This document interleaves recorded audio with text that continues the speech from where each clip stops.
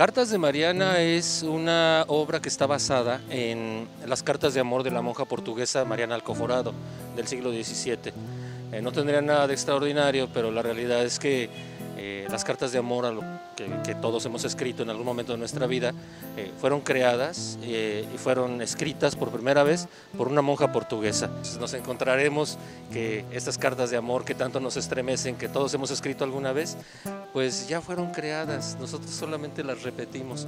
Pero es extraordinario encontrarse esto en la historia porque revela el corazón de la mujer, eh, la capacidad de amar de la mujer especialmente y pues la eterna lucha entre los hombres y las mujeres por encontrar la felicidad. Y espero hacerles saber, por la diferencia de palabras y formas de esta carta,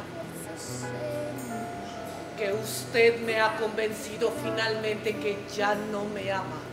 La cultura es el corazón y la sangre de los seres humanos. La cultura le da calidad y tono a la manera como nos relacionamos.